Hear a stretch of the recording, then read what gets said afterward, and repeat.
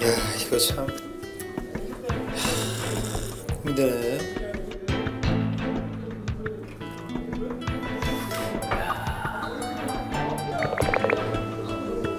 레이스, 레이스에서 한 명을 탈락 레이스에서 한 명을 탈락시킨다 아 잠깐만. 아 누굴 적어야 돼?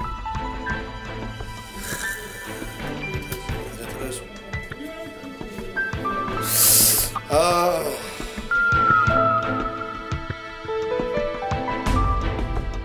그리고 너 저기 너무 빨리 나오면 좀 그렇다 항상 고민하는 척 광수는 읽자마자 바로 쓸 걸.